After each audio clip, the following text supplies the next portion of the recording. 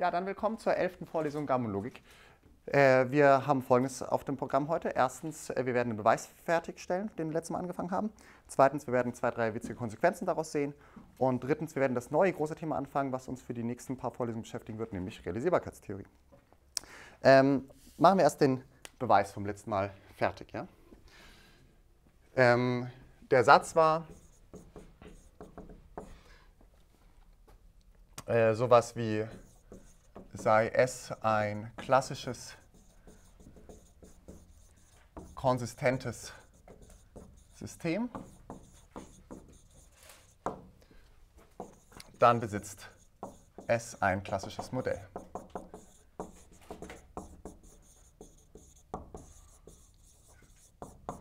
Und ähm, der Beweis ging so los. Wir nehmen uns eine Aufzählung äh, aller Formeln in S aber nicht aller äh, Formeln, sondern nur von den meisten. Eine Aufzählung aller Formeln der Form für alle x Phi und auch der Form Phi impliziert Psi, aber sonst keine weiteren. Ähm, ohne Einschränkung haben wir vorhin, vorher gesagt, dass wir nur folgende logische Zeichen erlauben wollen. Ja. Und äh, dann hatten wir noch gefordert, dass die Geraden die und die Form sein sollen. Das sollen gerade Nummern bekommen, gerade Indizes und die anderen ungerade. So, und dann haben wir schrittweise ähm, diese Mengen Delta n definiert. Delta 0 war die Menge der Axiome von S. Und äh, Delta n plus 1 haben wir in Abhängigkeit von Delta n definiert. Und zwar, falls n gerade war, also falls dieser Fall vorlag, dann haben wir einfach, äh, ohne, ohne auf irgendeine Bedingung zu prüfen, folgendes Axiom dazu getan.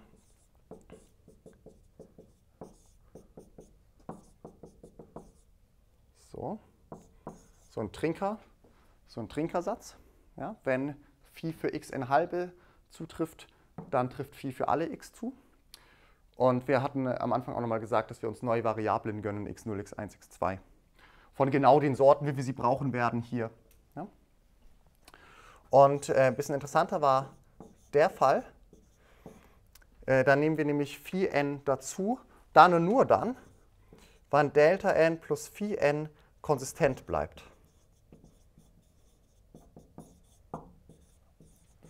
Ein ungerader. So, damit haben wir also die Deltas definiert und dann hatten wir Delta Omega.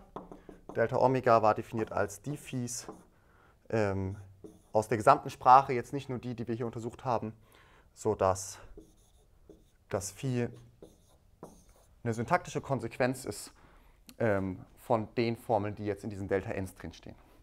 In klassischer Logik. Gut. Und dann hatten wir schlussendlich das Modell definiert. Das haben wir ähm, synthetisch gemacht, das haben wir formal gemacht, das haben wir ohne eine, eine kreative Idee gemacht. Wir haben nämlich einfach gesagt, dass die Interpretation von der Sorte x sein soll die Menge der Terme der Sorte x. Menge der Terme der Sorte x. Und dann noch die Influenzrelation rausgeteilt sodass wir genau solche Terme dann identifizieren, wo Delta Omega sagt, dass wir sie identifizieren müssen. Und äh, die Sachen, die jetzt dann noch offen waren und die wir jetzt eben in Teilen nachweisen, waren folgende.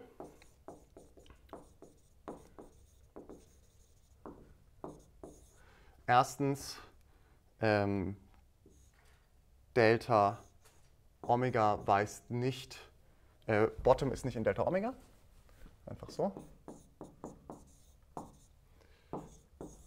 Äh, zweitens das Modell M, was wir auf diese Art und Weise uns äh, gebaut haben. Ähm, in diesem Modell gilt genau dann Phi, genau dann wenn ähm, Phi ein Element von Delta Omega ist.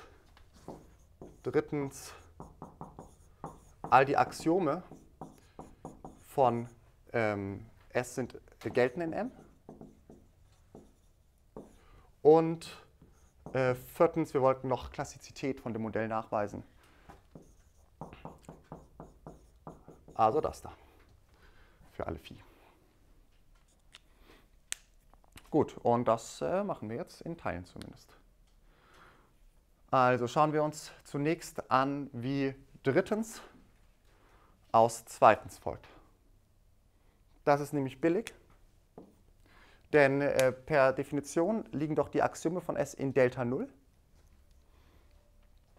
Erst recht liegen sie somit in Delta Omega, wo noch alle Konsequenzen von den Axiomen aus Delta 0 hinzu äh, hinzukommen und außerdem noch viele andere Formeln dazukommen. Und wir wissen, eine Formel gilt in dem Modell genau dann, wenn die Formel in Delta Omega liegt. Also das aus zweitens, drittens folgt, ist geschenkt. Steht da Delta bei 1 nicht in Delta Omega? Nee, Bottom. Bottom. Bottom liegt nicht in Delta Omega. Sorry.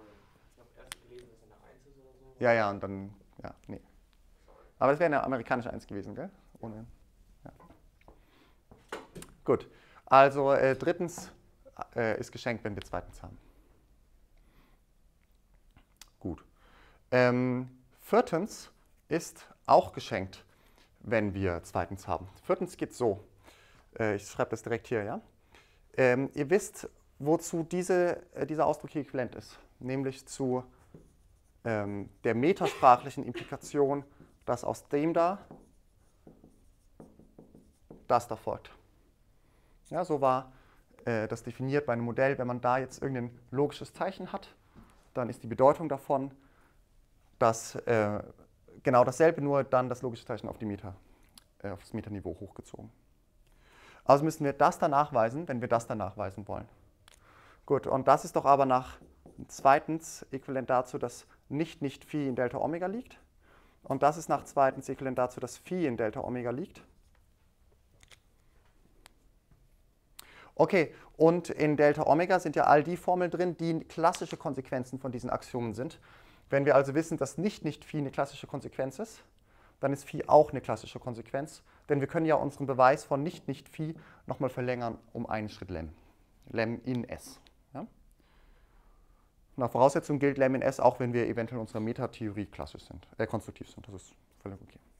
Das heißt, viertens ist auch schon abgehakt. Und äh, es bleiben jetzt erstens und zweitens.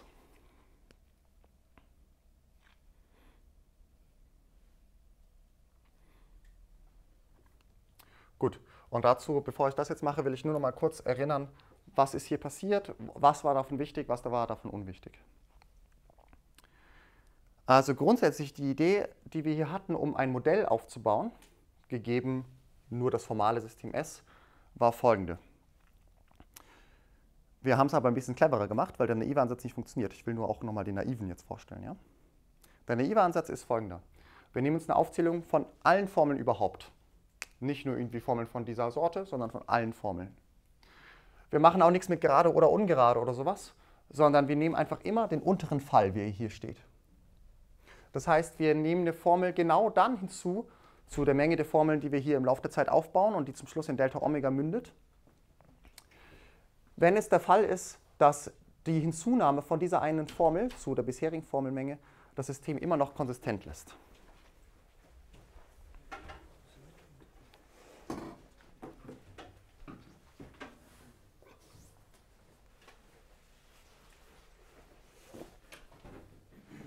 Also wir starten mit einer Axiom von S und dann gehen wir nach und nach alle Formeln durch und wir nehmen immer eine Formel hinzu, sofern es das System konsistent lässt. Ja? Je nachdem, in welcher Reihenfolge wir die Formeln durchgehen, werden wir dann, würden wir zumindest, wenn das überhaupt funktionieren würde, tut es aber nicht, aber wir würden dann zum Schluss ein anderes Modell bekommen. Gut. Ähm, warum haben wir das jetzt so ein bisschen komplizierter gemacht, dass wir für den Fall, dass die Formel von so einer für alle Bauart ist, äh, dass wir das dann anders machen? Warum haben wir die Fallunterscheidung drin? Das haben wir deswegen drin, weil wir, das werdet ihr gleich sehen, weil wir sonst zweitens nicht zeigen können. Und wenn wir zweitens nicht zeigen können, dann können wir auch nicht drittens zeigen, weil wir haben zweitens gebraucht, um drittens zu zeigen. Und wenn wir drittens nicht zeigen können, dann ist das zwar ein Modell von irgendwas, aber wir wollten ein Modell von S. Daher ist das wichtig. Speziell aber die Unterteilung in gerade ungerade, die ist nicht wichtig. Also die, die Formeln könnten auch von irgendwie äh, an anderen Stellen kommen in diesem Strom von Formeln. Äh, wir hätten einfach auch die Fallentscheidung darüber machen können, einfach ob die Formel, um die es gerade geht, von der Form ist oder nicht von der Form ist. Ich sehe gerade noch Phi gab es ja gar nicht, ne? Ich meine damit Phi. Gut, dann lasst uns mal die Sachen hier nachweisen. Also noch zuerstens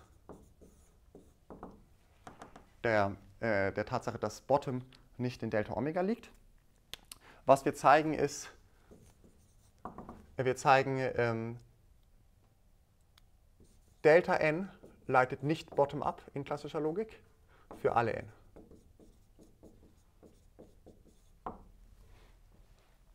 Das zeigen wir mit Induktion über n. Daraus folgt dann die Behauptung für Delta Omega. Denn wenn Bottom in Delta Omega liegen würde, dann würde es also heißen, dass man aus der Vereinigung dieser Delta Ns Bottom ableiten kann. Man hätte also irgendeinen Beweis von Bottom, der als Voraussetzungen all die Sachen in all den Delta Ns verwendet. Dieser Beweis hat endliche Länge. Also würde ein gewisses hinreichend großes Delta groß n genügen, um Bottom abzuleiten. Und wir werden aber jetzt gleich gezeigt haben, dass keines der Delta Ns Bottom ableitet. Der Induktionsanfang n gleich 0 ist geschenkt, denn Delta 0 ist ja nur S, sind ja nur die Axiome von S und eine Voraussetzung ist S konsistent. Also aus Delta 0 werden wir sicherlich nicht Bottom ableiten können. Gut. Und dann brauchen wir einen Induktionsschritt von n nach n plus 1. Der ist jetzt unterschiedlich schwer, je nachdem, ob n gerade ist oder nicht.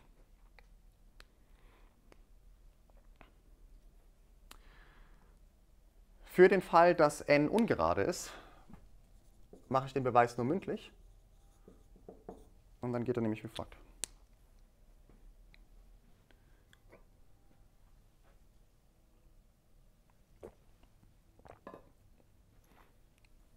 Okay, wir müssen nachweisen, dass Delta n plus 1 nicht Bottom ableitet. Angenommen, Delta n plus 1 würde Bottom ableiten. Was ist Delta n plus 1? Wir sind in dem Fall das heißt, die, aus dieser Menge von Formeln könnte man Bottom ableiten. So, jetzt schauen wir uns so einen hypothetischen Beweis von Bottom an, ausgehend von dieser Formelmenge.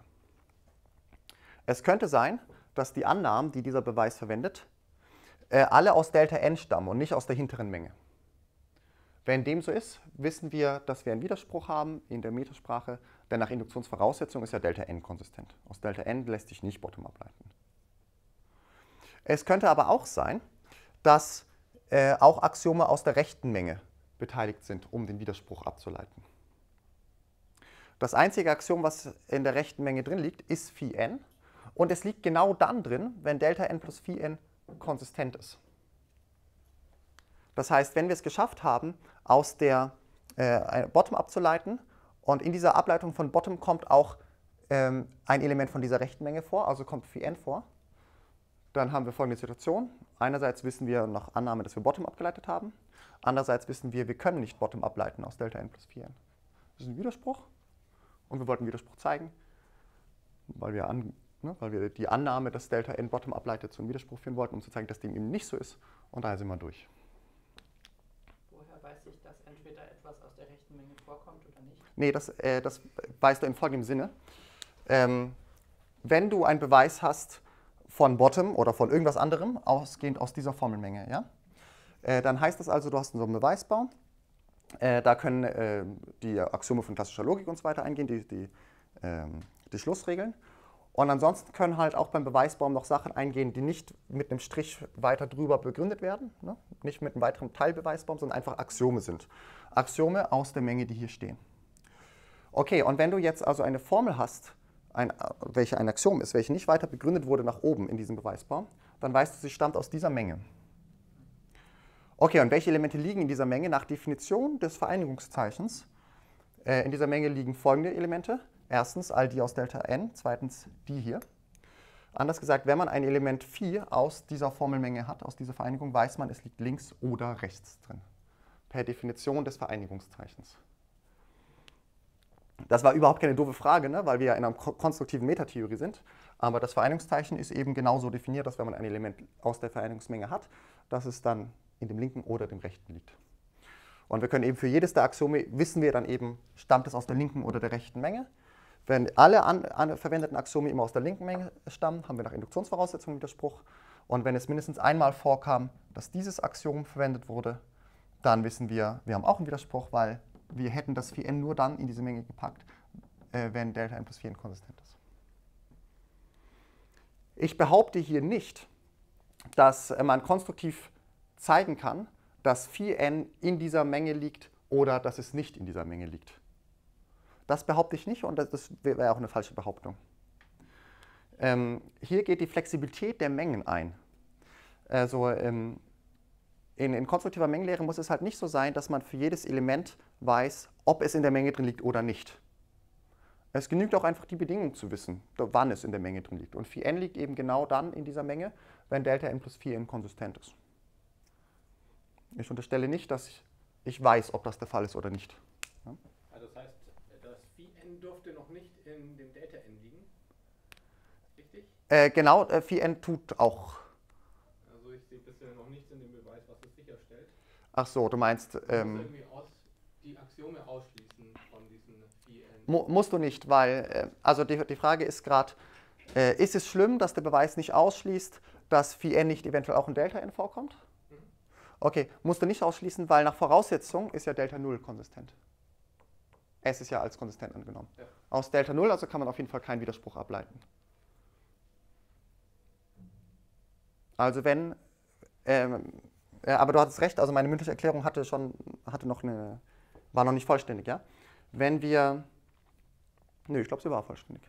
Du, du musst nicht die extra Fallunterscheidung treffen, ob Phi zufälligerweise schon, äh, Phi n schon f- zufälligerweise früher drin liegt. Die? Aussage, irgendein Element liegt links oder rechts drin, stimmt ja trotzdem. Genau. Ja. Ja. Und wenn all die verwendeten Axiome links drin lagen, sind wir nach Induktionsvoraussetzung fertig. Und wenn mindestens einmal ein Axiom verwendet wurde aus der rechten Menge, das ist zufälligerweise das Axiom phi n, ist mir aber auch recht egal. Ähm, wenn phi n verwendet wurde, dann wissen wir, ähm, wir haben also einen Widerspruch herleiten können unter Verwendung von folgenden Axiomen, irgendwelche, die in L Delta, drin ist, äh, Delta n drin sind und auch phi n. Insbesondere hätten wir einen Widerspruch folgen können, wenn wir uns ganz Delta n erlauben und phi n. Wir sehen aber, Delta n plus phi n ist konsistent.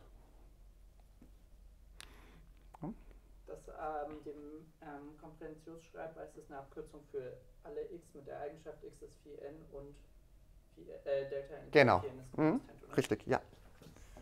Äh, das ist eine Abkürzung für alle Formeln phi mit der Eigenschaft phi gleich phi n und dieses Zeug, Delta n plus phi n, konsistent. Ja, und ein Axiom von Mengenlehre ist, dass egal welche Formel man hier hinschreibt, dass es immer die Menge derjenigen Phis gibt aus einer Obermenge, die schon als existent vorausgesetzt sein muss, ja, Menge der Formeln. Menge der Formeln. Ähm, so dass das gilt. Also man darf immer ausschneiden. Ja. Ich habe nicht ganz genau gesagt, was, wie stark meine Metamengentheorie sein soll. Aber wenn sie den Namen Me- Mengentheorie verdient, dann ist es möglich, Teilmengen auszuschneiden mit, mit Formeln. Ja. Ähm, vielleicht sind manche von euch Fans von, ähm, wer ist diese coole Mengentheorie, die endlich axiomatisierbar ist?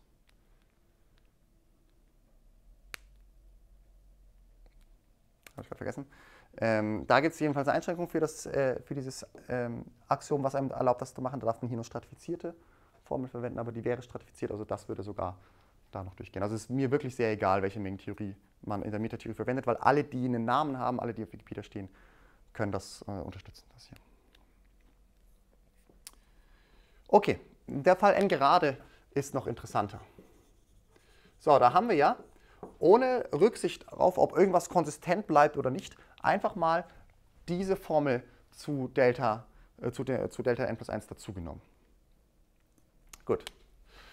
Und wir müssen zeigen, dass das immer noch ein konsistentes System ist. Also sagen wir, angenommen Delta n vereinigt mit dieser Formel,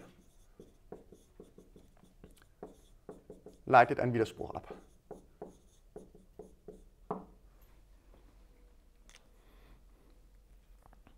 Und das wollen wir jetzt auf den Widerspruch führen, ja? um zu, eben zu sehen, dass dem nicht so ist. Okay, und da geht jetzt folgende Beobachtung ein. Dieses xn halbe, das war eine frische Variable, die in all den anderen Formeln, die schon in Delta n drin sind, nicht vorkommt. So war, war am Anfang war, war der Variablenvorrat der x definiert. Möglicherweise kommen in äh, Delta n ganz viele Formeln mit freien Variablen vor, das kann schon sein, aber die freie Variable x in, x in halbe wird jedenfalls nicht vorkommen. Gut. Das heißt, aus Sicht der anderen Annahmen, die man eben, die dieser be ange angebliche Beweis von Bottom ähm, verwendet aus Delta n, hat x in halbe überhaupt keine Sonderrolle weil eben x in halbe sonst nicht namentlich referenziert wurde hier drin. Das bedeutet, wenn es einen Be Beweis von Bottom gibt aus diesen Annahmen, dann gibt es auch einen Beweis von Bottom aus, mit folgender schwächerer Annahme. Dann leitet auch Delta n vereinigt folgendes äh, einen Widerspruch her. Es gibt ein y von derselben Sorte, sodass, wenn 4 in y gilt, das der Fall ist.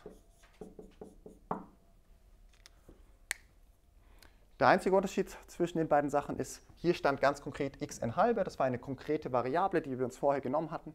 Hier steht jetzt dran irgendein y.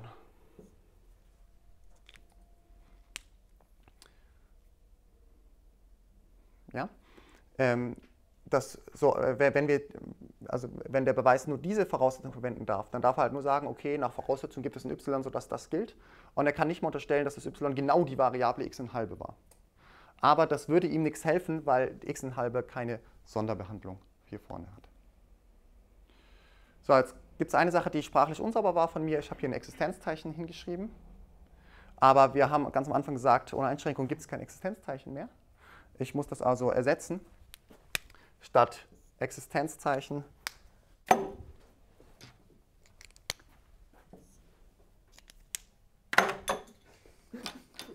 Es geht jetzt so weiter. Statt Existenzzeichen, meinetwegen, äh, muss ich halt die klassische Umschreibung dafür nehmen. Ja? Also nicht für alle y nicht. Ja? Gut, das drückt genau dasselbe aus. Die Begründung von eben funktioniert ganz genauso noch. Gut, und jetzt sehen wir aber Folgendes. Das, was jetzt da dran steht in runden Klammern, so, das ist sowieso einfach eine klassische Tautologie. Ist eine klassische Tautologie. Also die folgt sowieso ohne weitere Annahmen nur aus den Schlussregeln von klassischer Logik. Das ist eben genau das Trinker-Paradoxon. Auf jedem bewohnten Bauernhof gibt es ein Pony, was genau äh, mit der Eigenschaft, dass sich genau dann alle Ponys über Mathe freuen, wenn sich dieses über Mathe freut. Eine Subtilität ist drin, eventuell habt ihr es gerade bemerkt. Äh, das Trinkerparadoxon ist nur dann eine klassische Tautologie, wenn ich auch einen Term zur Verfügung habe von der Sorte, um die es hier geht. Das wollte ich eigentlich nicht voraussetzen. Übungsaufgabe repariert den Beweis für den Fall, dass wir nicht wissen, dass die Sorten bewohnt sind. Wir machen aber ansonsten weiter. Also, das ist eine klassische Tautologie. Das bedeutet, ich hätte gar nicht das als Zusatzaxiom hier aufführen müssen. Ich kann auch einfach kurz als Fazit sagen, dass auch Delta n schon bottom ableitet in klassischer Logik.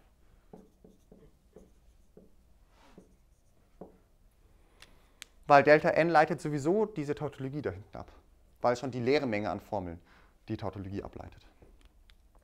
So, und nach Induktionsvoraussetzung aber ähm, stimmt es gar nicht, dass Bottom aus Delta n ableitbar ist.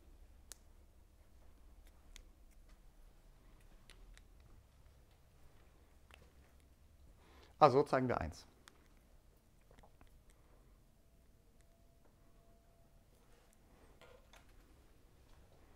Machen wir gleich noch zweitens, nur einen kleinen Ausschnitt davon und dann sind wir durch damit.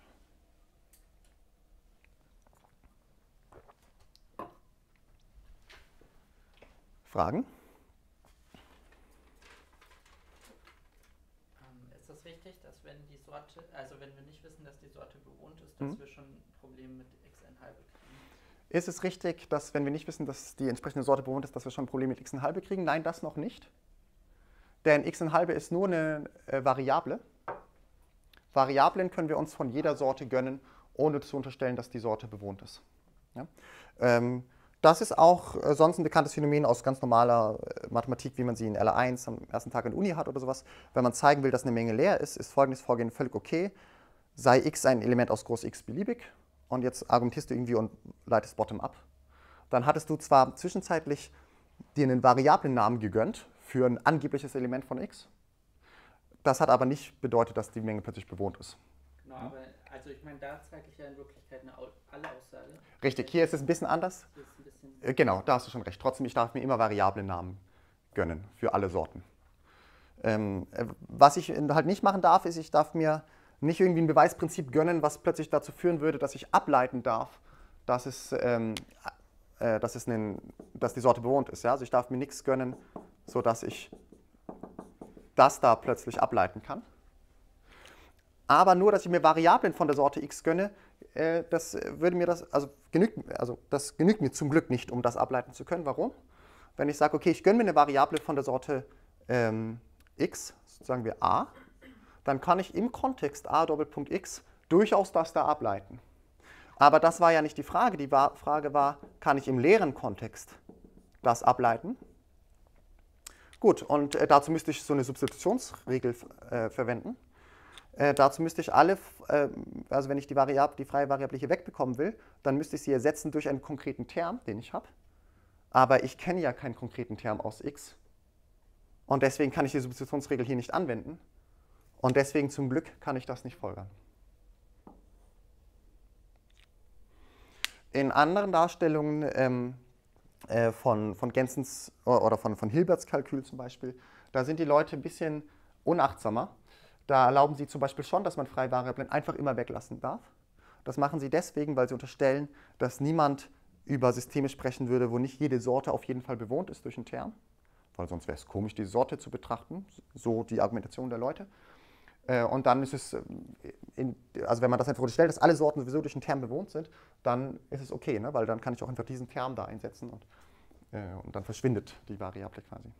Aber das wollen wir nicht machen, einfach deswegen, weil wir Systeme auch untersuchen wollen, wo das System nicht unbedingt zeigen kann, dass die Sorte bewohnt ist oder nicht bewohnt ist. Wo das vielleicht unklar ist.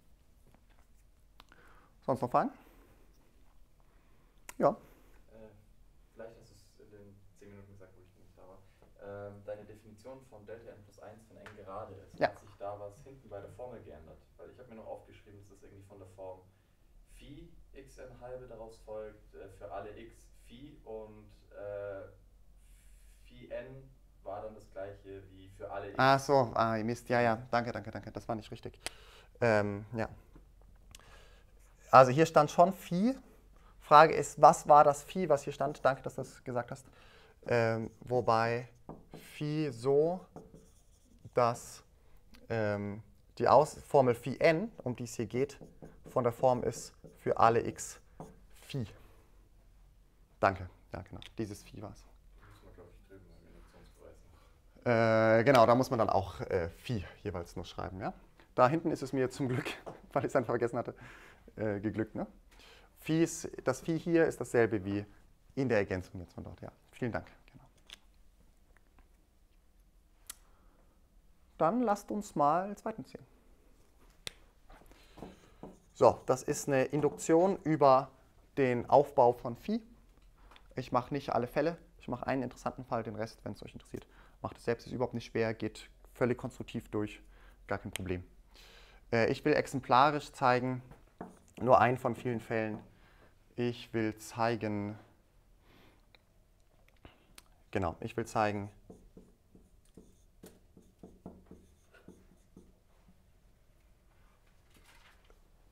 wenn das der Fall ist, dann ist, liegt die Formel für alle x Phi auch wirklich in Delta Omega.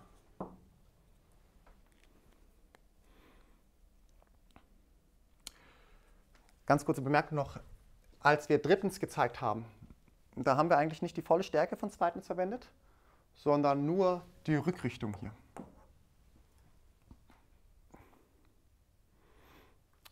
Das mit diesem Trinker-Ding, dass das wichtig ist, das ist aber nur etwas, äh, was entscheidend ist für die Hinrichtung, für das, was ich jetzt mache. Also hier wird man jetzt gleich sehen, warum das Trinker-Paradoxon oder warum diese Trinker-Aussage interessant ist.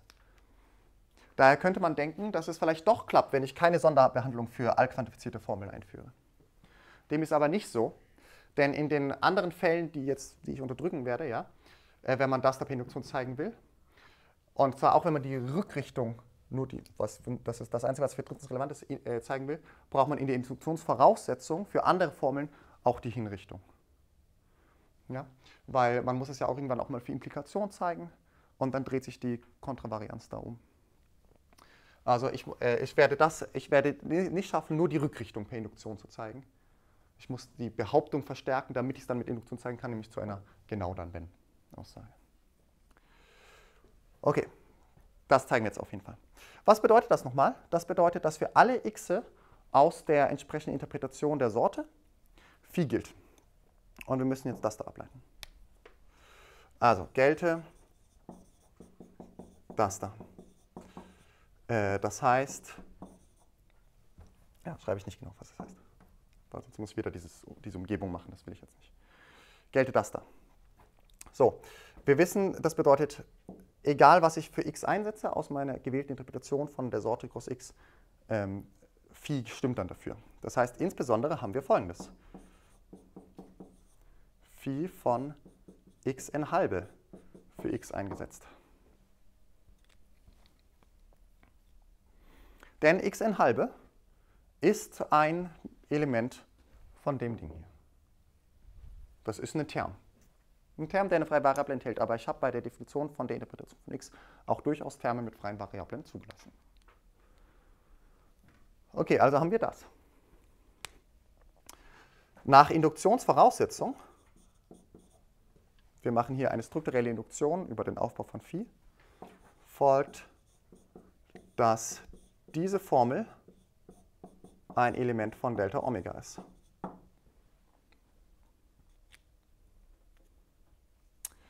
Nach Konstruktion von Delta Omega gilt, dass diese Trinker-Aussage in Delta Omega liegt.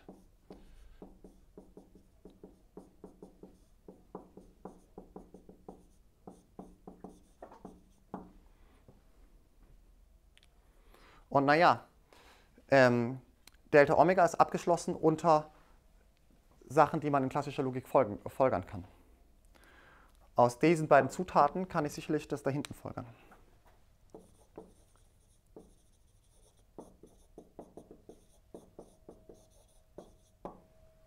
Und das war zu zeigen.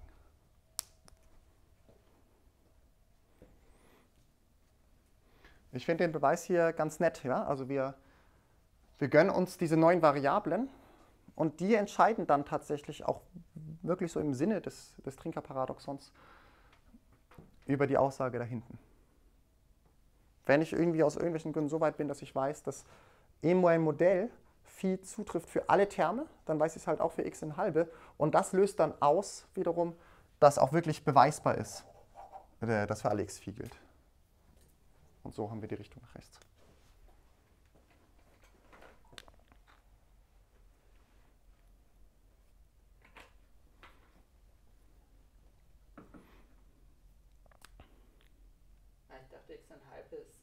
Mhm. Nur irgendwie eine Variable und kein.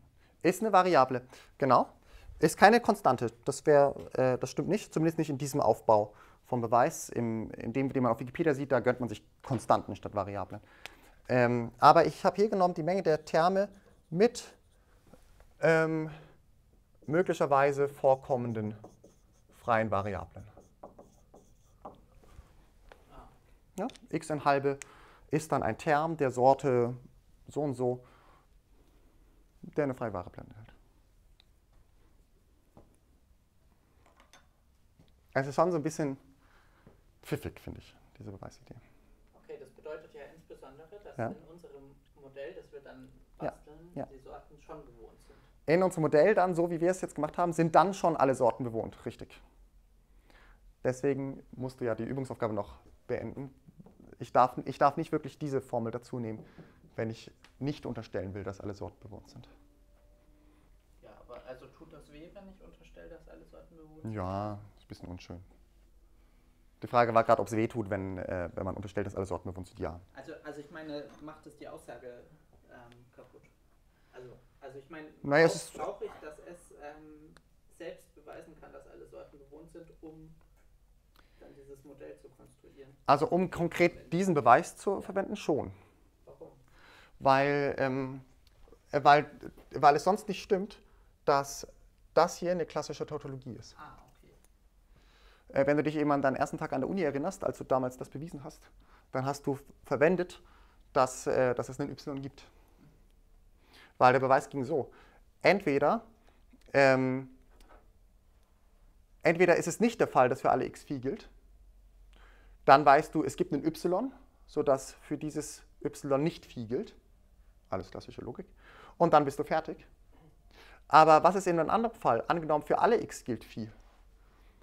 Gut, dann ist es egal, welches y du nimmst, die Folgerung wäre immer richtig, aber du brauchst ein y. Genau, das muss halt die Theorie beweisen können. Dazu brauchst du einen Term. Oder äh, es braucht nicht unbedingt einen Term von der Sorte, es braucht nur einen internen Existenzbeweis, dass die Sorte bewohnt ist. Das ist ein bisschen schwächer als ein Term zu haben.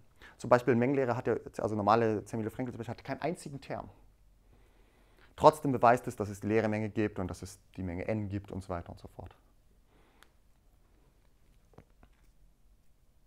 Okay. Ich werde das jetzt mal hier rechts wegwischen.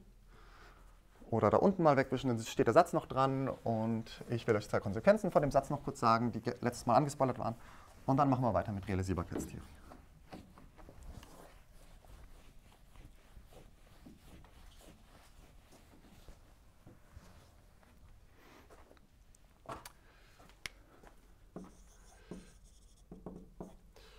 Also Bemerkung.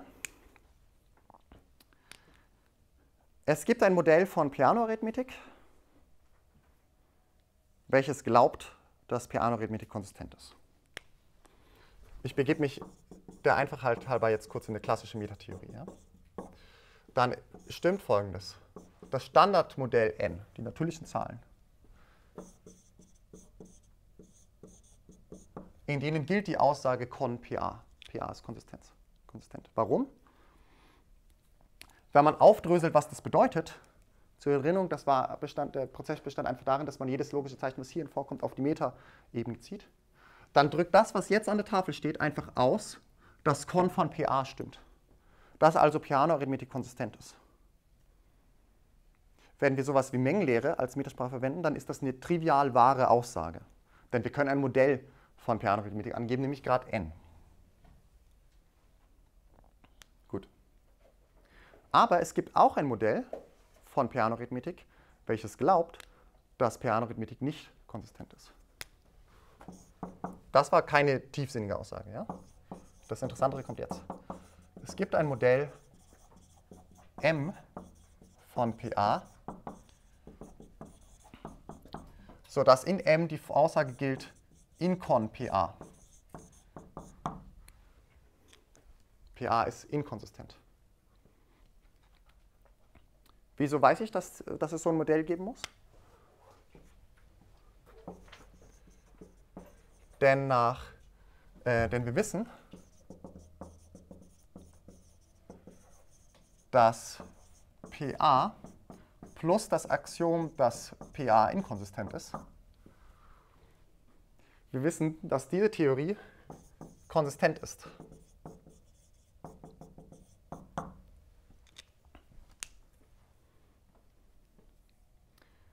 Und zwar wissen wir das nach Gödel 2. Warum? Stellt euch vor, man könnte einen Widerspruch ableiten aus, in, äh, aus diesem System, in diesem System. Dann heißt es also, all die Axiome von Piano-Arithmetik zusammen mit dem Axiom, dass Piano-Arithmetik inkonsistent ist, formuliert als Aussage über natürliche Zahlen, wie wir es im Kapitel über Arithmetisierung von Syntax gelernt hatten. All diese Axiome sind mächtig genug, um insgesamt zusammenzuwirken, um Bottom abzuleiten. Das können wir aber noch ein bisschen anders formulieren. Wir können es auch so formulieren. Die Axiome von PA sind mächtig genug, um ableiten zu können, dass Incon von, Incon von PA Bottom impliziert. Indem ich einfach das nochmal einmal auf die rechte Seite bringe. Ich schaut mich wieder so ganz komisch an wie am Mittwoch, als ich genau dasselbe Argument gebracht hatte. Ich schreibe ich schreib das einmal auf, das Argument einfach, aber ähm, also das ist super allgemein, ja? Wenn S plus Phi Bottom ableitet. Das System S ergänzt um das Axiom Phi. So. Dann weiß ich auch, dass S nicht Phi ableitet. Nach den Schlussregeln von Gensens Kalkül. Okay. Also angenommen, PA plus die Inkonsistenzannahme von PA würde Bottom ableiten. Dann würde PA auch ableiten, nicht in Con PA. Das war unsere Definition von Con PA. Und wir wissen aber, PA zeigt nicht die Konsistenz von PA, weil es selbst konsistent ist. Dass PA konsistent ist, wissen wir, weil wir eine gute Metatheorie verwenden. Gut. Also ist dieses System konsistent. Und nach dem Satz, den wir bewiesen haben, gibt es also ein Modell. Es gibt also ein Modell von Piano-Arithmetik, welches glaubt, dass Piano-Arithmetik inkonsistent ist. Macht euch ein bisschen darüber Gedanken, was das bedeutet. Ähm, war, wie war Incon PA nochmal definiert? Das war definiert als, es gibt einen P, sodass Proof P Gödelnummer von Bottom 1 ist. Es gibt ein P, sodass P ein korrekter Beweis ist von Bottom, als Zahl kodiert. Wie tausendmal angemerkt, Proof Prof hier ist nicht wirklich ein Funktionssymbol in Paradominik, aber wir können es gerne ergänzen, weil es primitiv rekursiv ist. Das heißt, wenn wir uns in die Sicht von M begeben, dann gibt es tatsächlich einen Beweis von Bottom, zumindest eine Zahl, welche eine Gödel-Kodierung von einem korrekten Beweis von Bottom äh, darstellt. Und jetzt kann man sich natürlich schon mit ein bisschen Fug und Recht fragen, welche Zahl ist das? Das Modell leitet, in dem Modell stimmt es, dass es ein P gibt, so das Blabla. Nach unserer Definition von dieser, dieses Zeichens heißt es, es gibt ein P aus dem Modell M oder genauer aus der Interpretation der Sorte N von M, sodass das dann in dem Modell gilt. Frage, welche Zahl ist das? Und da sehen wir, es kann keine der natürlichen Zahlen sein, die wir kennen. Es kann kein Numeral sein. Es kann nichts sein von der Form s von s von s von s von 0, wobei die 0 jetzt das Nullelement von dem Modell und s die Sukzessorfunktion von dem Modell meint. Das kann nicht sein, denn wir wissen ja, für all solche Zahlen ist es nicht der Fall, dass diese Zahl einen korrekten Beweis von Bottom kodiert. Denn wir wissen, es gibt keinen korrekten Beweis von Bottom, weil PA konsistent ist. Das heißt, dieses P, was es in diesem Modell gibt, dieses P, was eben ein korrekter Beweis, die Kodierung von einem korrekten Beweis von Bottom darstellt, das kann keine der Zahlen sein, die wir kennen, die es in den normalen natürlichen Zahlen gibt. Das ist also eine sogenannte nicht-standard natürliche Zahl. Wenn wir uns das Modell m hinmalen würden, würden, dann sähe das so aus. Wir haben einen Zahlenstrahl, es geht los mit 0, 1, 2.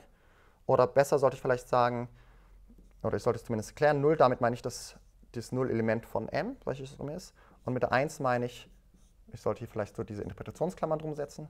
Und mit der 1 meine ich die Anwendung der Interpretation der Sukzessorfunktion auf die Interpretation des Nullsymbols. Und hier halt zweimal s angewendet und so weiter. Gut, so geht's los. Aber wir wissen, irgendwann kommt halt auch eine bestimmte Zahl, ich nenne jetzt mal P0, welche aus Sicht von M die Kodierung von dem korrekten Beweis von Bottom ist. Äh, danach kommt übrigens auch P0 plus 1. Das sollte ich in Wahrheit wieder nicht so schreiben, sondern ich sollte das Plus-Symbol hier doppelt einkasteln, ne, in diese Interpretationsklammern. Und hier 1 auch. Und ähm, es wird auch etwas davor geben. Denn man kann doch zeigen in Piano-Arithmetik, dass jede Zahl einen Vorgänger hat, sofern sie nicht 0 ist. P0 ist nicht 0, also hat sie einen Vorgänger. Ja, und so entwickelt sich so ein Bonuszahlenstrahl so nach links und hier auch nochmal nach rechts. Und eine Übungsaufgabe besteht darin, dass ihr euch einfach mal ein bisschen Gedanken machen sollt, wie so ein Zahlenstrahl aussehen könnte. Es gibt noch viel mehr Elemente, deren Existenz sich aufdrängt, weil diese Struktur immer noch die Piano-Axiome erfüllt. Ähm, dieses P0 würde man als unendlich große Zahl bezeichnen, ne, weil sie weiter rechts liegt als alle endlichen Zahlen, die man kennt. Das heißt, ähm, das heißt, es gibt, äh, wie sieht also dieser Inkonsistenzbeweis von PA aus? Antwort, das ist nicht wirklich ein Beweis, sondern das ist ein unendlich langer Beweis. Ja? Aber aus der Sicht von M ist es ein ganz normaler, super Standardbeweis. Wird halt kodiert durch die natürliche Zahl P0. Ja? Und ähm, mein Gastgeber in Warwick, äh, bei dem ich Anfang dieses Jahres war, Adam Epstein, extrem cooler Typ, ähm, der hat immer bedacht, wenn man so Beweise führt und so weiter und wenn man die ein bisschen informal führt, wenn man die nicht wirklich mit Induktion führt, hat er immer bedacht, dass es sein könnte, dass das Universum, in dem wir leben, ein Nicht-Standard-Universum ist, ohne dass wir es mitbekommen. Weil es gäbe keine, also es ist ein bisschen Quatsch, ne, weil es plötzlich eine Aussage über die reale Welt ist, aber der Punkt ist schon valide. Ja? Das Modell selbst kann nicht herausfinden, ob irgendwelche Zahlen Standard sind oder nicht Standard sind. Wenn ich irgendwie ausdrücken würde, wenn ich versuchen würde, ja, und zum Beispiel definieren würde, eine Zahl als genau der Standard, wenn es ein n gibt, sodass sie von der Form s von s von n von 0 ist, n mal s geschrieben. Nach dieser Definition ist jede Zahl Standard, denn auch eine Nicht-Standardzahl, die kann ich ja dann auch für dieses, es gibt ein n verwenden. Ja? Dann nehme ich halt eine Nicht-Standard oftige Wiederholung von s. Ähm, es ist nicht angedacht quasi von den Schöpfern der Peano-Axiome, äh, sowas wie Piano oder ich glaube in Wahrheit war es Dedekind ein paar Jahre vorher, dass es solche komischen Geistermodelle gibt. Modelle, die erstens, also dass es überhaupt mehr als ein Modell gibt, das war nicht unbedingt gewollt und schon gar nicht war gewollt, dass es ein Modell gibt, was die Inkonsistenz von Piano-Arithmetik aus, äh, in dem die Inkonsistenz von Piano-Arithmetik stimmt. Das lässt sich aber nicht verhindern in Logik erster Ordnung. Immer wenn man ein System hat, was konsistent ist, dann gibt es auch immer nicht nur irgendwie ein Modell, an das man gedacht hat, sondern es gibt auch weitere Modelle. Es gibt Modelle, die, ihre, die die Inkonsistenz der Theorie behaupten und eine Übungsaufgabe ist, ihr sollt zeigen, dass es kontinuum viele echt verschiedene Modelle gibt. Ja? Also das gibt es automatisch bei jeder konsistenten Theorie. Das ist ein großer Kritikpunkt quasi an Logik erster Ordnung. Die ist niemals gut genug, es sei denn, das System ist inkonsistent, oder erfüllt nicht die Voraussetzung von Gödel 1, das heißt, es ist ein ganz schwaches System. Ähm, äh, Logik erster Ordnung ist niemals gut genug, um Eindeutigkeit von Modellen zu generieren, zu garantieren. Logik zweiter Ordnung ist es, aber Logik zweiter Ordnung hat wieder ganz andere Probleme. Erstens ist gar nicht so klar, wie man das formalisiert, weil bei Logik zweiter Ordnung darf man über Teilmengen sprechen, aber es sind schon Mengen. Und zweitens, ähm, für Logik zweiter Ordnung gilt auch nicht so ein Satz wie hier. Ja? Und das ist auch ein bisschen schade, weil das ist ein schöner Satz der einem zum Beispiel erlaubt, diesen anderen Satz vom letzten Mal zu beweisen, dass semantische Implikation schon syntaktische Implikation bedingt. Wie auch immer. Noch ein zweites Beispiel zu Mengenlehre.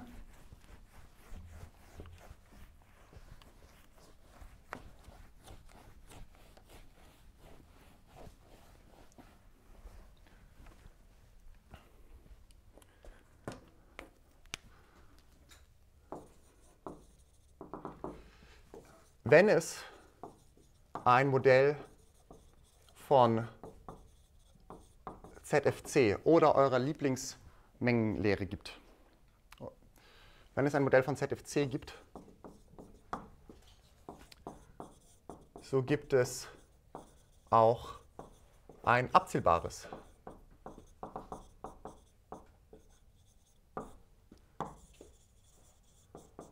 Modell von ZFC. ZFC hat genau eine Sorte, nämlich für Mengen. Dieses Modell besteht also aus der Angabe von einer bestimmten Menge, wo dann all die Mengen des Modells drin sind. Und mit abzählbares Modell meine ich eben, dass diese eine Menge abzählbar ist. Warum stimmt die Bemerkung, die hier steht? Naja, wenn ZFC ein Modell hat, dann ist ZFC auch konsistent, also ist der Satz anwendbar, aber der Satz liefert ein klassisches abzählbares Modell. Denn wir haben nur so die Menge der Terme genommen, die war abzählbar. Okay, und das ist so ein bisschen witzig, weil das Modell glaubt nicht, dass es nur abzählbar viele Mengen gibt. In dem Modell, das ist ein ehrliches Modell von ZFC, kann man alles beweisen, was halt ZFC, oder gilt alles, was ZFC beweisen kann. ZFC kann ja mühelos beweisen, dass es überabzählbar unendlich viele verschiedene Mengen gibt. Zum Beispiel all, all die Ordinalzahlen sind ja schon mal viel, viel mehr als, als äh, abzählbar oder sowas. Ja? Also es ist überhaupt kein Problem für ZFC, nachzuweisen, dass es überhaupt sogar viele Dinge gibt. Und diese Aussage stimmt also innerhalb des Modells. aber sie stimmt nicht von Wahrheit. In Wahrheit, von oben drauf geschaut. Ähm, Wenn jetzt meine Metatheorie, sagen wir mal, ZFC ist, Ja. gibt es da ein Modell von ZFC? Gute Frage. Wenn meine Metatheorie ZFC ist, können wir dann zeigen, dass es ein Modell von ZFC gibt? Nein. Denn wenn wir zeigen könnten, in dieser Metatheorie, dass ZFC ein Modell besitzt, dann. wäre ZFC ja, würden wir, würde ZFC die Konsistenz von ZFC zeigen. Wir wissen, das geht genau dann, wenn ZFC inkonsistent ist. Also mein Nein sollte ich vielleicht zurücknehmen zu einem, wer weiß. äh, ich habe ähm, auf der letzten Gaben-Logik-Konferenz äh, in Leeds habe ich zwei Mengentheoretiker gefragt, ob sie glauben, dass ZFC konsistent ist. Was vielleicht eine nicht höfliche Frage war, weil sie ja Mengentheoretiker waren. Aber haben sie gemeint, natürlich ist ZFC konsistent, weil schon ZFC plus U ähm, die Existenz von einem Modell von ZFC impliziert. Was ist U? Im Wesentlichen das Axiom, dass es ein Modell von ZFC ist. Aber der Punkt ist halt, Mengentheoretikerinnen, die untersuchen nicht nur dieses System und sind dabei noch nicht auf Widersprüche gestoßen, sondern viel, viel krassere Systeme. Zum Beispiel Axiom, dass es unendlich viele unerreichbare Kardinalzahlen gibt und dann noch viel mehr Sachen, die ich, wo ich gar nicht die Wörter für kenne. Und auch bei diesen viel, viel stärkeren Systemen kam bisher noch nie ein Widerspruch auf. Deswegen ist dieses System, was ja also quasi das ganz am unteren Ende von der Krassheit von Erweiterung von ZFC ist, sehr, sehr sicher konsistent und daher ist erst recht ZFC konsistent. Äh, Als ich klein war, gab es noch folgenden Witz auf Wikipedia. Und zwar äh, gibt es eine Liste äh, auf Wikipedia Liste von großen Kardinalzahlaxiomen. U ist eines von denen. Und ähm, es gibt dafür nicht wirklich einen Grund, der bisher bekannt wäre, aber es, ist ein empirisches Faktum, dass all die Axiome für die Existenz von sehr großen Mengen, die man bisher so äh, entdeckt hat, ähm, dass die sich ganz klar in einer Kette anordnen lassen, was die Stärke von denen angeht. Also es ist nicht so, dass man bisher schon zwei große Axiome gefunden hat und untersucht hat, ähm, sodass die un unvergleichbar wären, sondern für jedes Axiom, was momentan so im Gebrauch ist, ist es so, dass entweder das eine stärker als das andere ist oder andersrum. Deswegen konnte Wikipedia diese Liste von Axiomen sortieren, ja, von schwach nach stark. Und das schwächste große Kardinalzahlaxiom war halt die Menge der natürlichen Zahlen existiert. Das würde niemand auch wirklich als ein großes Kardinalzahlaxiom akzeptieren. Und das stärkste damals, als ich noch ein Kind war, war 1 gleich 0. Ich fand das witzig. Es gab übrigens äh, ein Axiom, was die Leute kurzzeitig verwendet hatten und dann festgestellt haben, dass es inkonsistent ist, nämlich das Axiom, dass es Kardinalzahlen gibt, wobei war ein bestimmter Name, den ich jetzt vergessen habe. Könnt ihr aber auf Wikipedia noch lesen. Gut, das war, was ich euch zum Vollständigkeitssatz mitgeben wollte. Jetzt machen wir Realisierbarkeitstheorie. Wenn es keine Fragen gibt. Du hast die Bemerkung begründet mit, ähm, ja, wir wenden einfach den Satz ab. Genau, Ähm, aber der Satz hat ja definiert diese Menge, die Interpretation, ja, ähm, als die Menge der Terme die Menge der Terme. mit freien Variablen. Ja. Ähm, aber gibt, gibt es Terme, ZFC? Ähm, Ist es dann die leere Menge? ah ja, okay. Kann man sogar sagen, es gibt ein leeres Modell?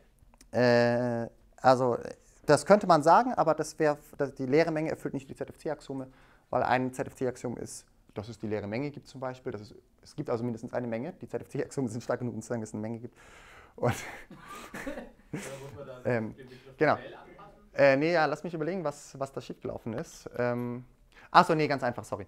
Ähm, ZFC hat keine konstanten Symbole. Deswegen gibt es keine Terme im leeren Kontext. Aber ZFC, wie jedes formale System, hat Variablen-Symbole, Variablennamen. Und das heißt, dein, äh, de- deine Interpretation ist aus ganz vielen Variablen einfach zusammengesetzt. Das ist quasi so ein bisschen quasi ein blutleeres Modell, ja, weil die Elemente von deinem Modell von ZFC sind dann also nur Variablennamen, in eckige Klammern geschrieben, weil es Äquivalenzklassen eigentlich waren. Und manche dieser Variablennamen gelten dann halt als gleich, ne, weil manche halt identifiziert wurden. Welche genau, weißt du nicht so genau, weil du die Konstruktion hier ja, ähm, also die kannst du schon durchführen, aber du weißt ja trotzdem nicht genau, welche Formel du jetzt mit in, die Menge, in, die, in, die, in das Delta Omega getan hast. Du weißt, es ist ein Modell, aber du weißt nicht besonders viel darüber. Außer, dass die ZFC-Axiome für das Modell stimmen. Das ist schon eine starke Aussage natürlich.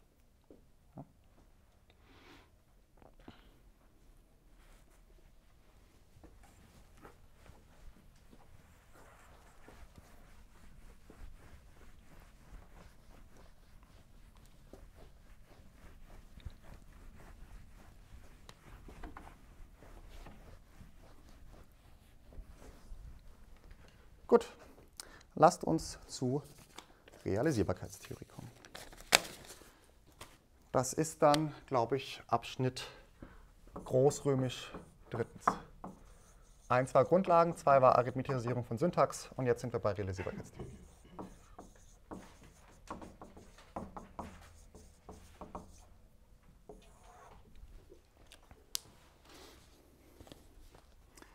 Okay, ich will mal grob sagen, was man damit machen kann. Und dann schauen wir so ein bisschen erstmal informal, was es, worum es darum geht, und dann machen wir auch formale Definitionen.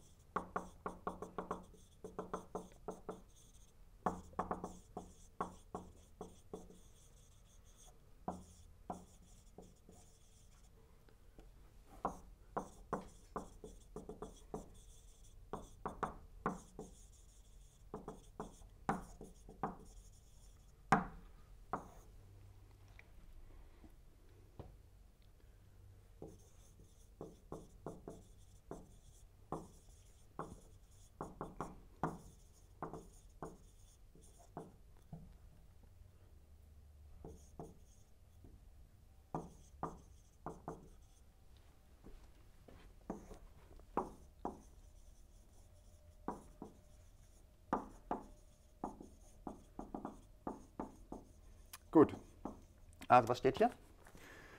Diverse Dinge. Gehen wir es mal grob durch. Historisch einer der Hauptmotivationen für Realisierbarkeitstheorie und heute keine besonders wichtige Motivation mehr, weil, man, weil das einfach schon erledigt ist, sind Konsistenzbeweise zu führen. Und zwar Beweise der Art, wenn dieses System konsistent ist, ist auch dieses System konsistent. Und äh, dabei ging es eben insbesondere wieder um so Sachen wie, ist denn Piano-Arithmetik konsistent, ist Mengenlehre konsistent oder sowas. Ja?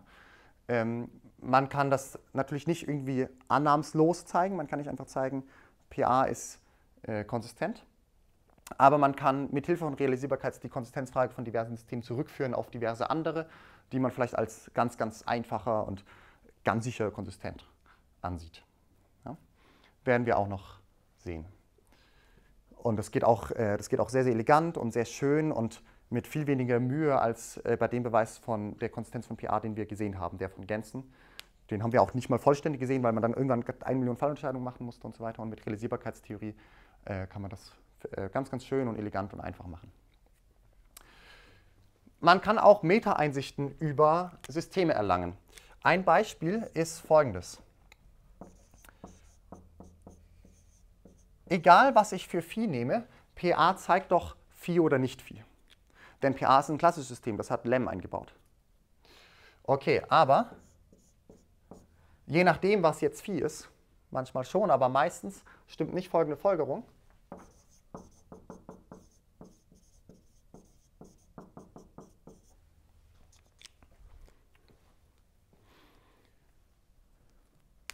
Meistens stimmt es nicht, dass man einen Beweis von Phi hat in PA oder einen Beweis von Nicht-Phi. Obwohl das System glaubt, dass Phi oder Nicht-Phi wahr ist. Was wäre ein Beispielsatz Phi, den man hier verwenden könnte, um das zu illustrieren? Naja, so ein Gödelsatz. Da hatten wir doch gesehen, wenn PA konsistent ist, davon gehe ich jetzt kurz aus, dann zeigt PA weder Phi noch zeigt PA nicht Phi. Okay, also okay, dafür brauchen wir keine Realisierbarkeitstheorie, dafür brauchen wir nur Gödel 1, haben wir schon längst gemacht. Aber es gibt ein zweites Resultat, was man mit Realisierbarkeitstheorie beweisen kann, nämlich das da.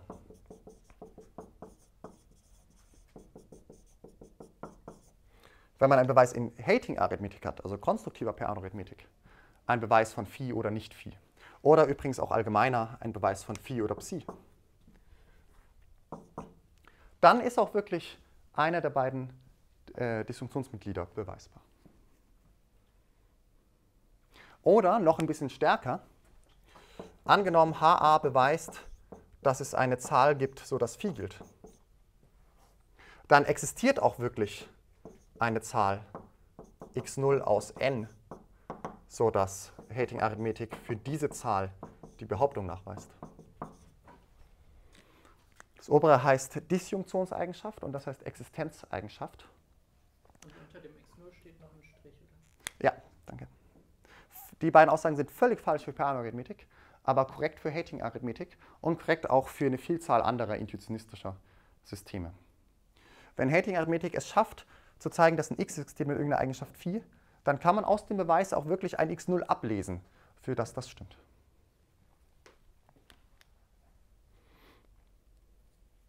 In ähm, ähm, PA gilt übrigens eine andere Aussage.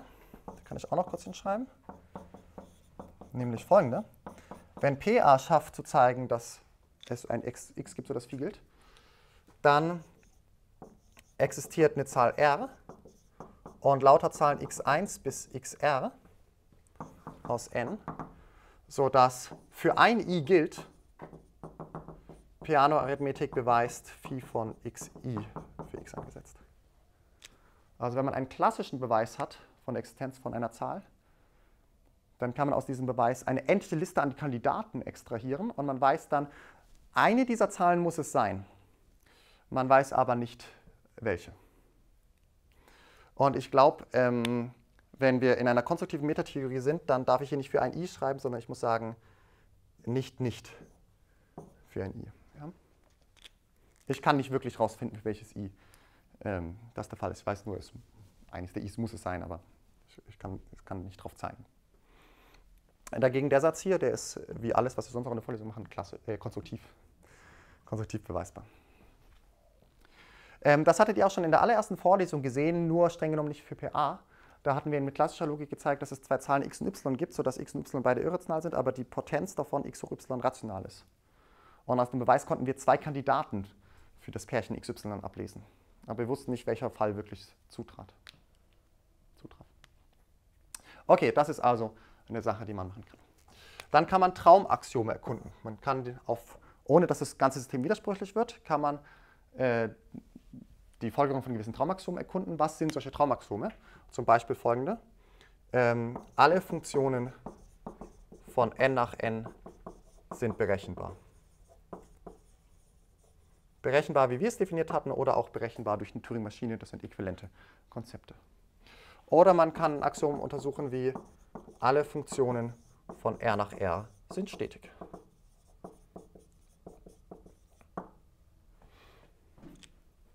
Oder man kann sowas untersuchen wie das abzählbare Auswahlaxiom gilt.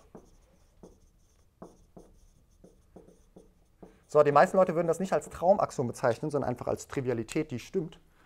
Aber wenn wir in einer konstruktiven Metatheorie sind, dann ist das abzählbare Auswahlaxiom ja eventuell nicht gegeben. Und in diesen Traumwelten, die wir uns erschaffen können, da stimmt es dann halt doch wieder. Ähm, warum ist das interessant? Ähm, zum einen ist es interessant, weil das Anwendungen liefert. Anwendungen in der theoretischen Informatik.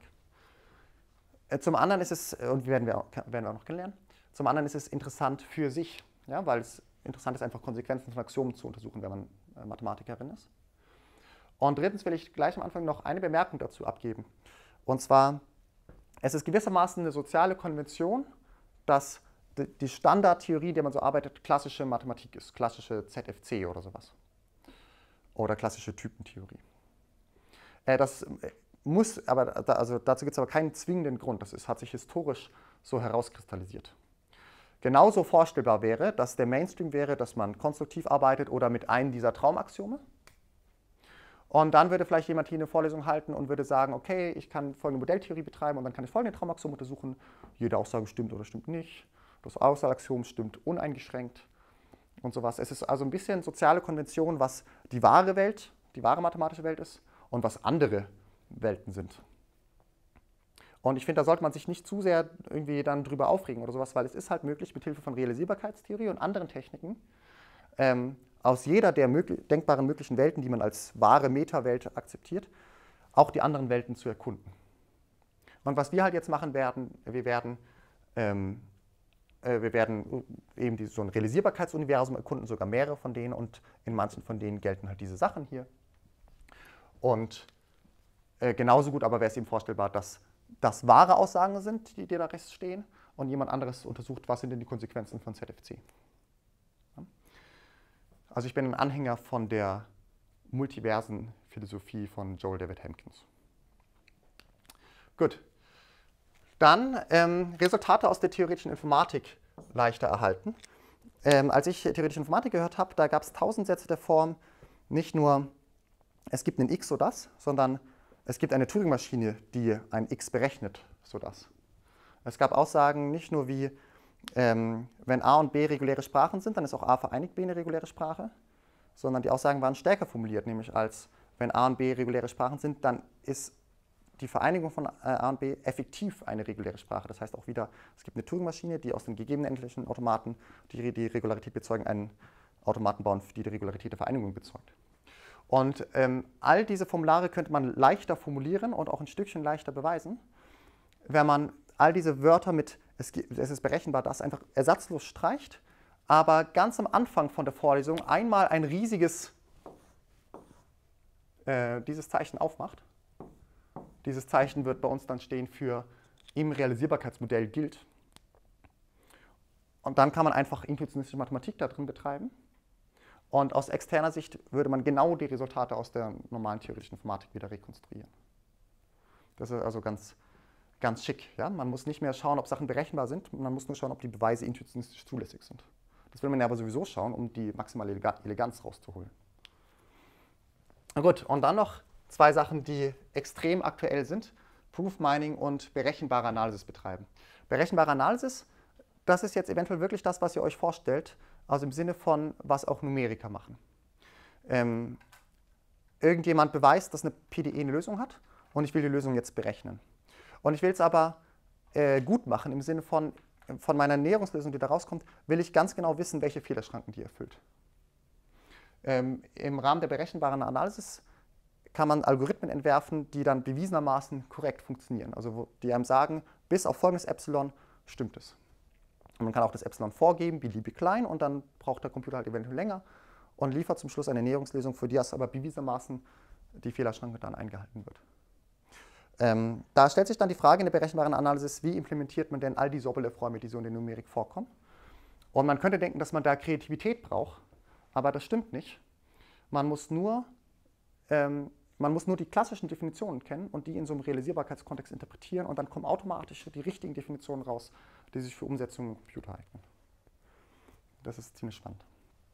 Und dann gibt es Proof Mining, das habe ich schon in der allerersten Vorlesung angeteasert. Ne? Das ist diese Sache mit, dass wir aus Beweisen, die schon geführt wurden, insbesondere aus klassischen Beweisen, nachträglich weitere Informationen extrahieren. Extra äh, Informationen wie, wie berechnet man denn jetzt die nächste Primzahl oder ähm, was ist denn die Norm von dem resultierenden Element? Irgendwie sowas.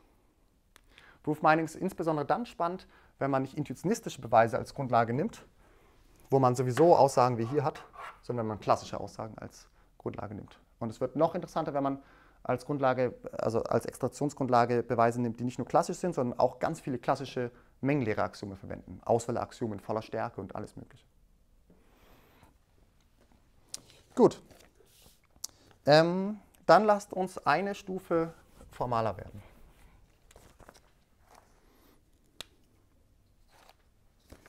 Aber immer noch so ein bisschen Motivation.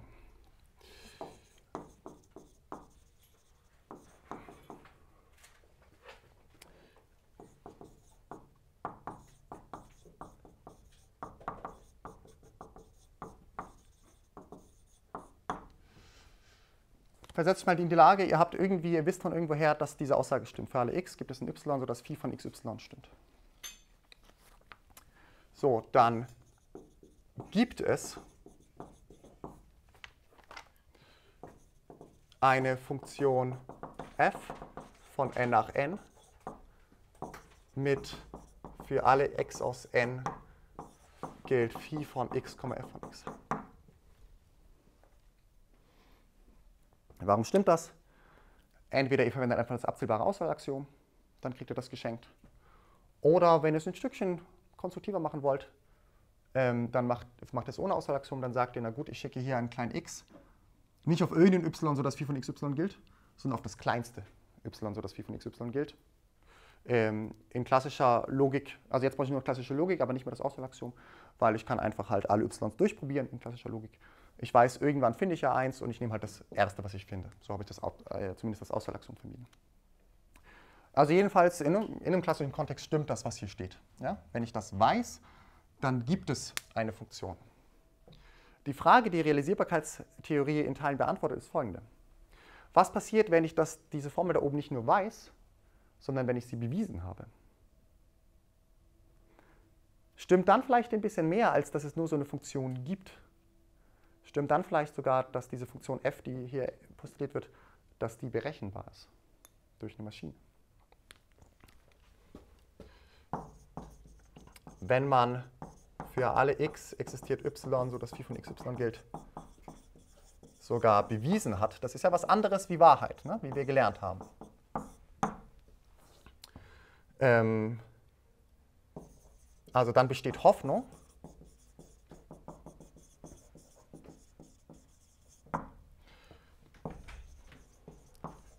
dass die resultierende Funktion f, die, die da oben steht, sogar berechenbar ist.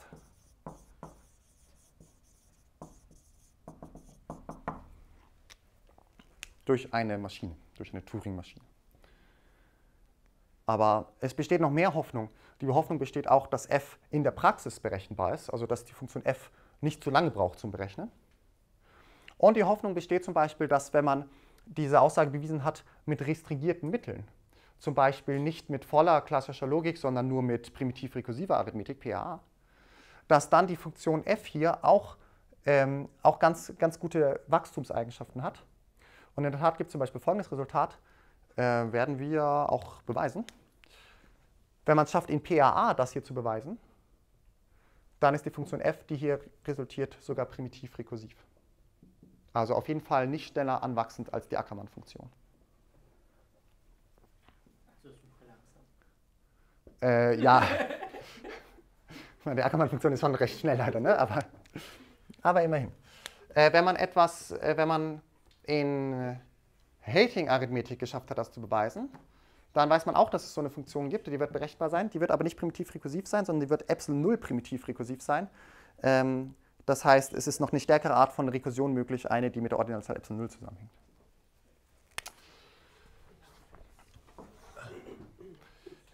Äh, die Leitfrage in der Beweisbarkeitstheorie, in der Realisierbarkeitstheorie, in der ganzen Logik ist folgende und Realisierbarkeitstheorie gibt eine Teilantwort darauf. Was weiß man mehr als nur die Gültigkeit einer Aussage, als nur die Gültigkeit, wenn man eine Aussage bewiesen hat.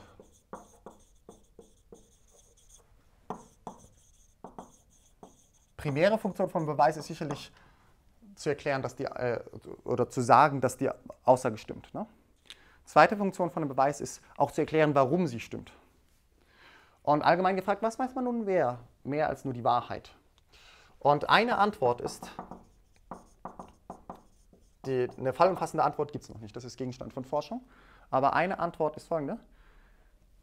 Wenn man, wenn man weiß, dass, wenn man eine Aussage bewiesen hat, dann kennt man auch einen Realisierer für sie. Dann kennt man auch einen, diese Aussage, sie bezeugenden Realisierer. So, was ist ein Realisierer? Ja. Ähm, das da? Äh, ja, also werden wir sehen, inwieweit es stimmt. Es, äh, es stimmt nicht ganz wortwörtlich, aber wortwörtlich kannst du es ja, glaube ich, sowieso momentan noch nicht prüfen, weil ich noch nicht formal eingeführt habe, was ein Realisierer ist. Vielleicht habe ich eine gute Intuition. Okay, alles klar. ähm, wir, werden, also wir werden natürlich Beweise führen, ne? und übrigens konstruktive Beweise. Und dabei werden dann die Aussagen präzisiert. Aber ich will das jetzt schon mal grob erklären, was das ist, damit man eine Vorstellung davon hat.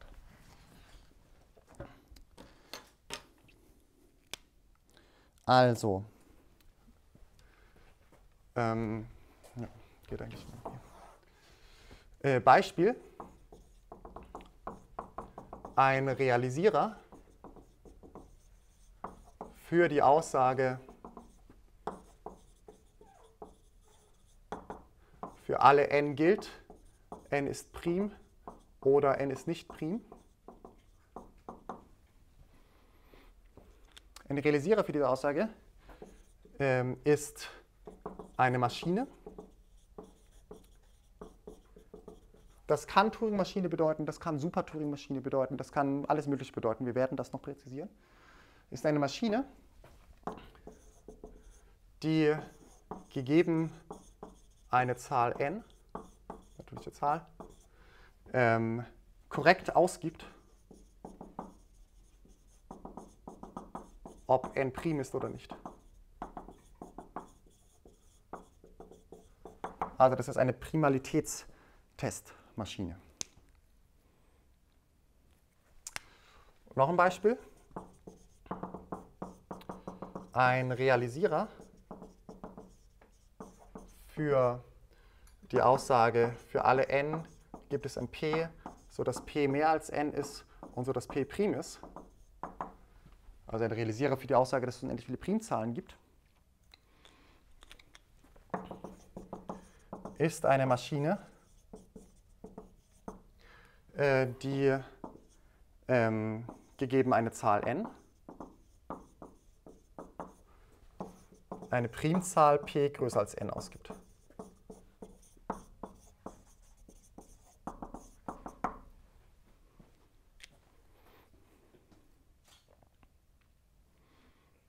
Und so könnt ihr euch das auch allgemeiner denken. Ja? Also immer wenn man eine Aussage hat, dann wäre ein Realisierer dafür halt ein Computerprogramm in irgendeinem Sinne, welches die Aussage bezeugt.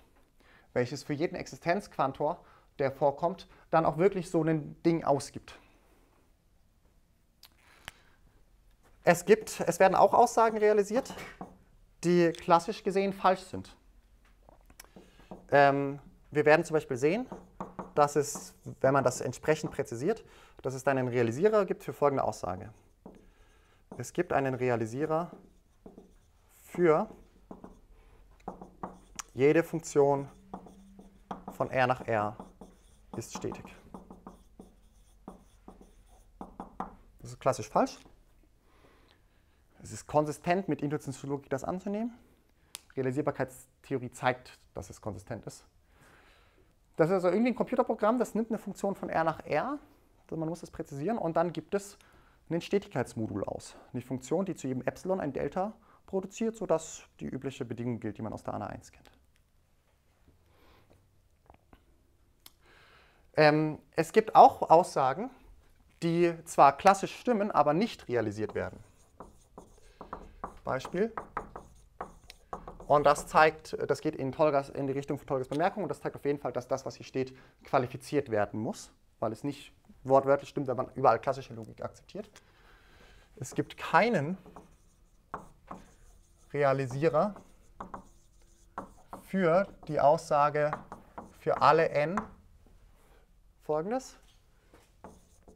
Die ente Turing-Maschine hält oder hält nicht.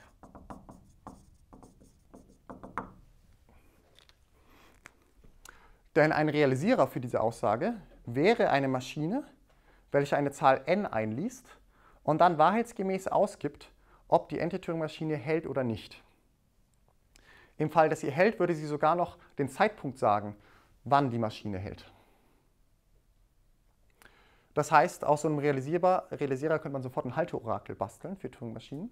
Also eine Maschine, welche eine andere Turing-Maschine einliest und dann rausfindet, ob die hält oder nicht.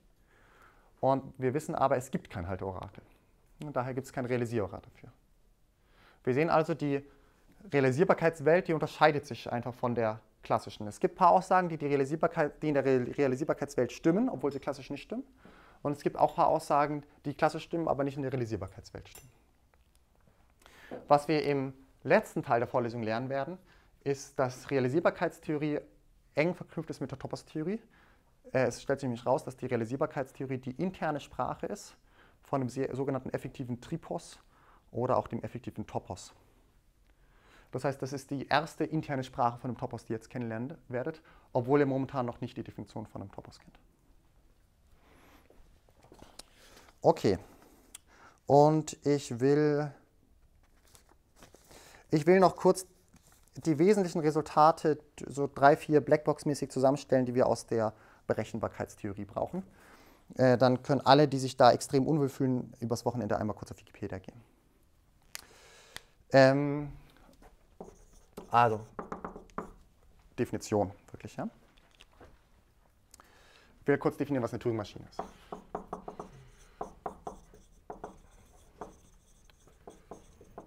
Eine Turing-Maschine besteht aus einer endlichen Menge Q, heißt die, glaube ich, immer in der TI, von Zuständen.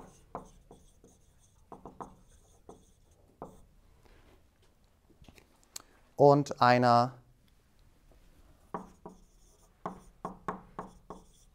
äh, Zustandsübergangstabelle.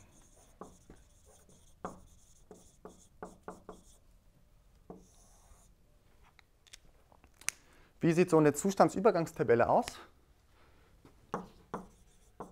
Welche für jeden Zustand klein q aus groß Q und für jedes Symbol, für jedes Bit 0 oder 1, was für all diese Sachen je einen Folgezustand Q' aus Q ähm, und eine Bandbewegungsrichtung.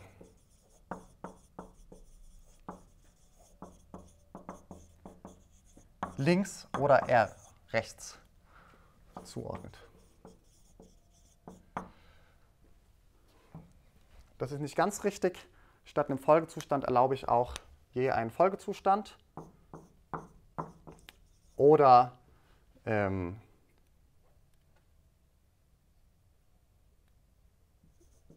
die Halteaufforderung statt einem Folgezustand und so eine Bandbewegungsrichtung. So. Und ähm, außerdem äh, drittes Datum, was noch zur Naturmaschine gehört, ist nicht nur eine Menge von Zuständen und eine Zustandsübungstabelle, sondern auch noch einen designierten Startzustand. Besteht aus bla bla und einer Zustandsbegange und einem designierten Startzustand. Die Vorstellung, die man hier unbedingt im Kopf haben muss, ist folgende. Ähm, es gibt ein Band,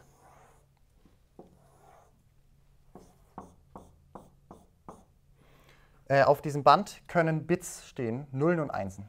Vielleicht irgendwie sowas, ja? Das Band ist auf jeden Fall mal in eine Richtung unendlich groß. Manche Leute erlauben auch, dass es nach links unendlich groß ist. Das führt auf äquivalente Modelle zum Schluss. Zu jedem Zeitpunkt befindet sich die Turing-Maschine, befindet sich der Schreiblesekopf der Turing-Maschine an einer bestimmten Stelle, zum Beispiel dort. Und hier angeschlossen ist das Regelwerk, diese Zustandsübergangstabelle von der Turing-Maschine. Und so eine Turing-Maschine kann man jetzt ausführen in folgendem Sinne. Die Definition, was die Ausführung von der Turing-Maschine bedeutet, werde ich nicht an die Tafel schreiben, sondern nur mündlich geben, weil es lästig ist, das anzuschreiben. Die Ausführung von der Turing-Maschine stellt man sich wie folgt vor. Am Anfang ist irgendein Bandinhalt vorgegeben und am Anfang ist vorgegeben, wo sich der Schreiblesekopf der Turing-Maschine befindet. Also meinetwegen hier. Und dann passiert immer wieder Folgendes. Ähm, die äh, Turing-Maschine befindet sich in einem bestimmten Zustand, ganz am Anfang dem designierten Startzustand. Und dann schaut man in der Zustandsübergangstabelle nach, ähm, was denn der Eintrag ist für das Zeichen, was dort gerade steht, bei dem Zustand, in dem die Turing-Maschine gerade verweilt. Dann sagt ja die Übergangstabelle zwei Sachen. Entweder sagt, macht sie die Halteaufforderung oder sie gibt so einen Folgezustand und eine Bandbewegungsrichtung an. Wenn sie die Halteaufforderung ausspricht, dann heißt das, die Simulation der Turing-Maschine ist beendet. Und was auch immer jetzt auf dem Band steht, ist halt die Ausgabe der Turing-Maschine. Im anderen Fall aber wird ähm, das Band bewegt, oder vielleicht sollte ich auch lieber Kopfbewegung sagen statt Bandbewegungsrichtung. Also dann wird der Schreiblesekopf eins nach links oder eins nach rechts bewegt. Und die Turing-Maschine ist danach in einem möglicherweise anderen Zustand Q'. Sollte, die Turing-Maschine, sollte der Kopf schon ganz links sein und die Turing-Maschine gibt die Anweisung, den Kopf noch eins weiter nach links zu bewegen, dann ist es dasselbe, wie wenn die Turing-Maschine die Halteaufforderung ausgesprochen hätte. Also dann wird die Simulation abgebrochen. Und was auch immer jetzt auf dem Band steht, ist halt das Ergebnis der Berechnung. Turing-Maschinen kann man sich also vorstellen wie ähm, idealisierte Computer, die Zugriff haben auf einen beliebig langen Arbeitsspeicher. Sie sind recht beschränkt in der Komplexität der Logik hier, der Steuerungslogik. Aber man kann halt zeigen in der theoretischen Informatik, dass alles, was so eine normale Programmiersprache ausmacht, sowas wie Variablen oder ähm, dynamische Speicherverwaltung oder Vorschleifen oder all sowas, dass das Turing-Maschinen nachmachen können. Eventuell auf eine sehr ineffiziente Art und Weise, weil sie ständig auf diesem Band hin und her suchen müssen. Aber sie können alles machen, was normale Computerprogramme auch machen können. Sie können es sogar besser, weil ein normaler Computer, den geht, geht irgendwann der Speicher aus und eine Turing-Maschine nicht. Ja, aber der, der Inhalt vom Band steht irgendwie in deiner Definition noch nicht drin. Äh, genau, weil das ja auch nur die Definition von einer Turing-Maschine ist, nicht vom Verlauf der Ausführung von der Turing-Maschine. Da gebe ich immer am Anfang irgendein Band vor, dann mache ich die Turing-Maschine an, dann lasse ich sie werkeln, irgendwann kommt sie eventuell in, äh, in den Haltezustand, entweder weil sie die Halteaufforderung ausspricht oder weil sie einen Move macht, der nicht geht und dann schaue ich mir an, was sie produziert hat. Ähm, ihr kommt auch in der gesamten Vorlesung einfach mit der Vorstellung durch, dass eine Turing-Maschine ein idealisierter Computer ist. Das ist überhaupt kein Problem. Und jetzt will ich noch ähm, zwei Sachen anschreiben. Einfach schnell.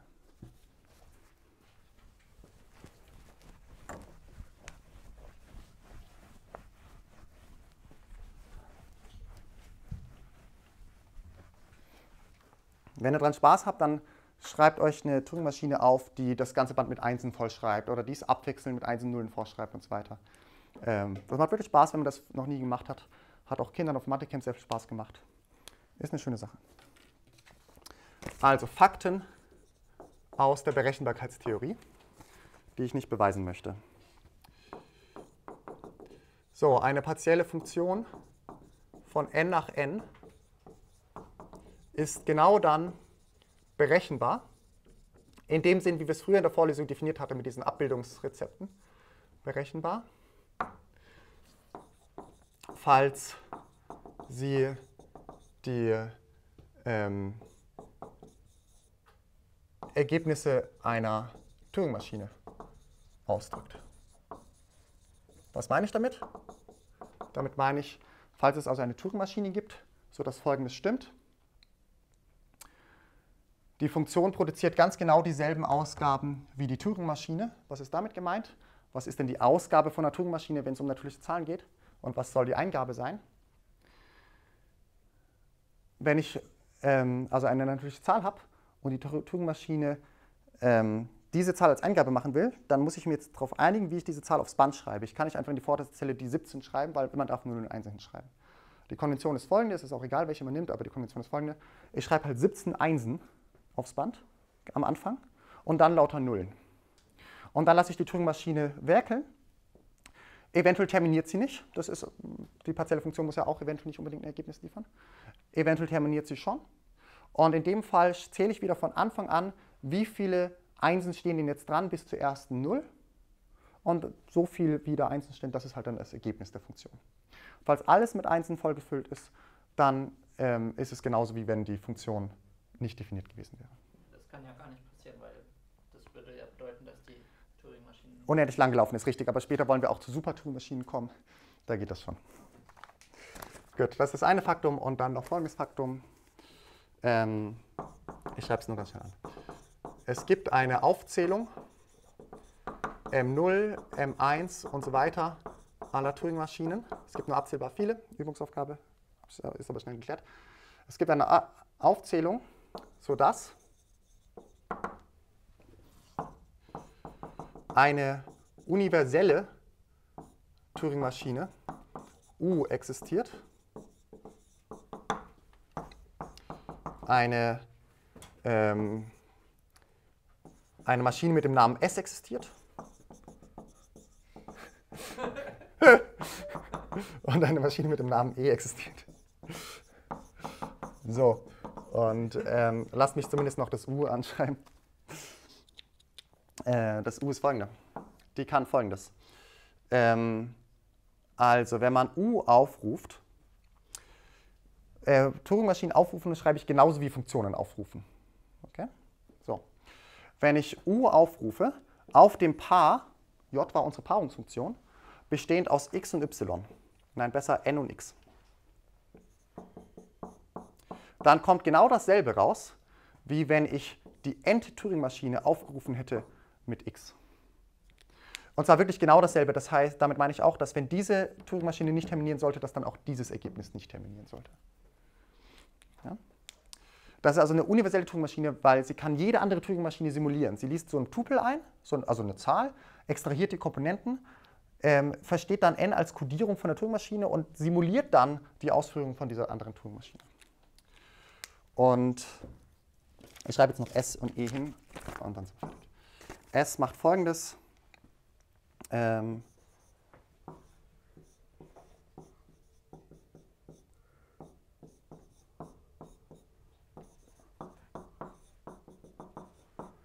so. Und E. E macht folgendes.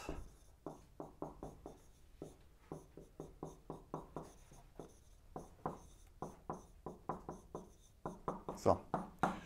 Ähm, wenn ihr keine Ahnung von Berechenbarkeitstheorie habt, äh, werde ich darauf bis nächstes Mal angehen noch. Und ansonsten geht auf Wikipedia und gibt ein UTM-Theorem und ich glaube SNM-Theorem, Tim. Ist das richtig? Äh, da wird nämlich erklärt, was dieses U und das S und das E, was die bedeuten. Aber das machen wir nächstes Mal noch. Genau. So, ich habe überzogen, es tut mir leid. Vielen Dank für eure Aufmerksamkeit.